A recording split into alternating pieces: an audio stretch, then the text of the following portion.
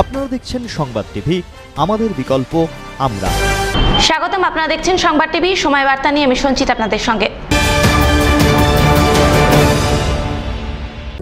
সময় বার্তা নিবেদন করছে Airtel. Arambagh hotel and resort private limited.